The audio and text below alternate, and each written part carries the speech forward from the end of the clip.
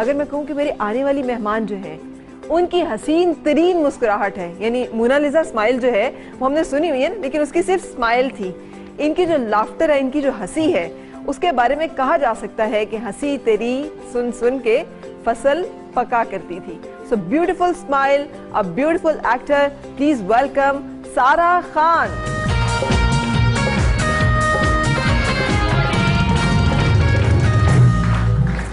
कैसी हो सारा? बिल्कुल ठीक। अच्छा मैंने ठीक कहा था ना कि सारा की मुस्कुराहट जो है वो शायद सबसे खूबसूरत तरीन चीज़ जो पर्सनैलिटी में है वो आपकी स्माइल है। थैंक यू बड़े दिल से बड़ा खुल के मुस्कुराती हैं और एक बड़ा चाइल्डिश सा आपका ना लाफ्टर है। तो बच्चे बच्चे जो मुस्कुराते हैं ना हँसते हैं किसी चीज़ पे तो उनका बिल्कुल ये एक्सप्रेशन होता है अब आपने हंसा नहीं है ज़्यादा क्योंकि आप हंसोगी तो मुझे भी हँसी ये हो। नहीं पाएगा। अच्छा सारा की मुस्कुराहट ज़्यादा हसीन है किसने सारा को रोते हुए देखा है ड्रामों में परफॉर्म करते हुए? देखा है? तो माइक है आप लोगों के पास। किसको लगता है कि मुस्कुराहट से ज़्यादा ये जब रोती हैं तब हसीन लगती हैं भाई? जब ये रो रही होती हैं या जब कोई सीरियस एक्टिंग कर रही होती है तो उस वक्त बड़ी कमाल लगती हैं बड़ी अच्छी लगती हैं बड़ा अच्छा परफॉर्म करती हैं उस कैरेक्टर में बड़ा अच्छा ढल जाती हैं। किसी को भी नहीं लगता। सब स्माइल ज़्यादा क्यूट है अच्छा सारा आपका अपने बारे में क्या ख्याल है? आपको अपनी स्माइल अच्छी लगती है, अपना संजीदा अदाकारी अच्छी लगती है। कहाँ पे आपको लगता है, यहाँ मैं बहुत फिट हूँ? मुझे संजीदा अदाकारी करने में मज़ा ज़्यादा आता है। मैं कभी भी अपना, मैं कभी कॉमेडी को इस तरह का काम हो मैं नहीं कर पाती। लेकिन रियल लाइफ में अगर आप पूछे तो मुझे रोना बहुत बुरा लगता है और रोते हुए मैं अपने आप को अगली लगती हूँ। मुझे लगता है कि मैं रोते हुए बहुत बुरी लग रही हूँ। अरे जो कि आपको गलत लगता है। हाँ। क्योंकि ऐसा हो नहीं सकता जितना प्यारा अल्लाह ताला ने आपको बनाया। Have seat please thank you very much आज हमने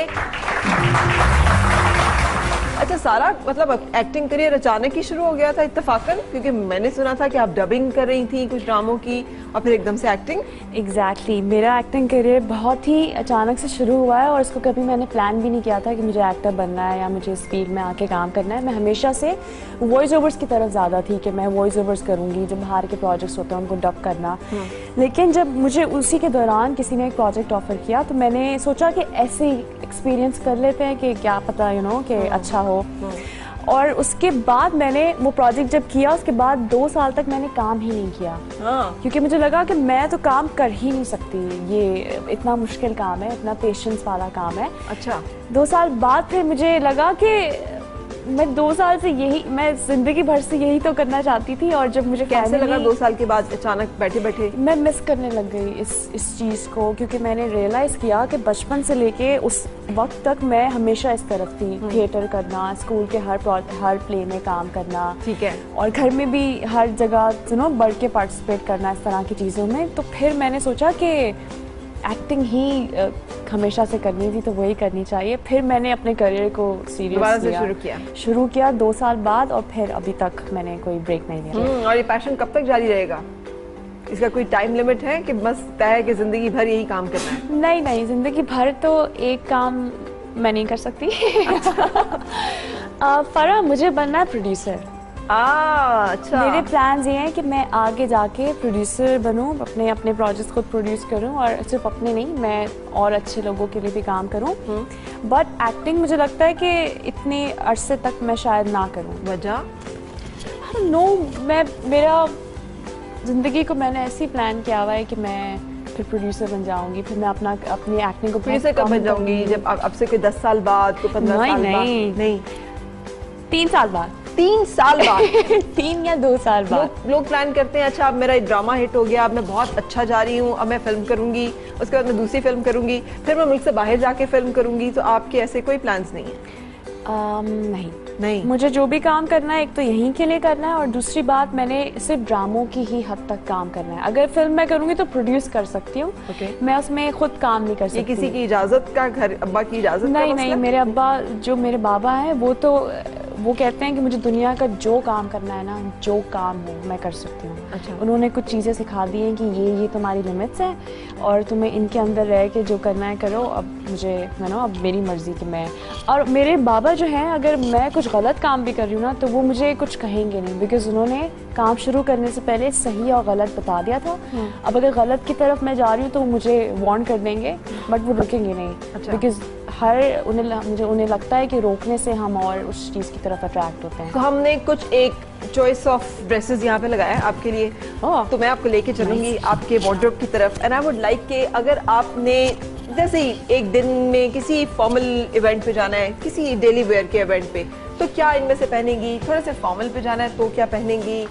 ये दोनों चॉइसेस आपकी इन, इन सारी ड्रेसेस में से कौन सी होंगी? फॉर्मल uh, किस किस किस्म का? शादी शादी मंगनी मंगनी शादी टाइप का कोई इवेंट है? पहले फॉर्मल का बता दें। उसमें क्या पहन के जाएँगे? अच्छा।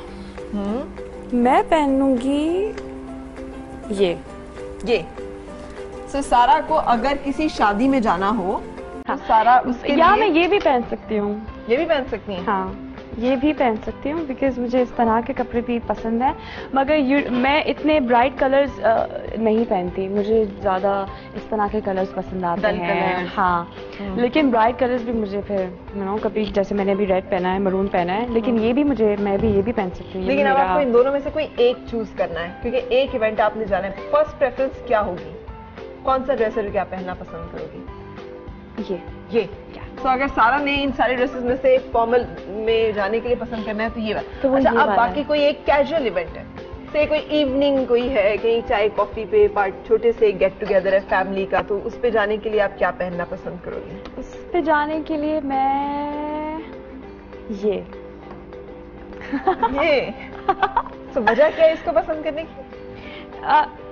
वैसे ऑनेस्टली अगर आप मुझसे पूछे तो मैं ये हटा दूँगी। लटा दूँगी। हाँ ठीक है। और ये मुझे पसंद था लेकिन इसके इसकी वजह से मैं ये इसको मैंने रिजेक्ट किया। जो इसमें सुराख है। अच्छा हाँ। आपको नज़र आ गया था कि इसमें सुराख है? हाँ। जी।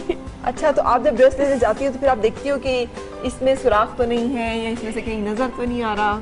मैं सबसे ज़्यादा मुश्किल मुझे अपने स्पेशली अगर मुझे कुछ वेस्टर्न ख़रीदना है तो मुझे बड़े मसले होते हैं कि उनकी लेंथ के लेंथ का क्या है और वो बहुत ज़्यादा मुझे मेरे बॉडी फिटेड ना हो कमीज़। लेकिन अ, मैं शलवार कमीज़ जब लेती हूँ तो मैं और मैं काफ़ी ढीले कपड़े पहनती हूँ। क्योंकि मुझे ढीले कपड़े पहनना अच्छे लगते हैं। ठीक है। वो आप ढीला सा कुर्ता कैजुअल सा और आप उसमें कंफर्टेबल भी रहते हैं। हाँ।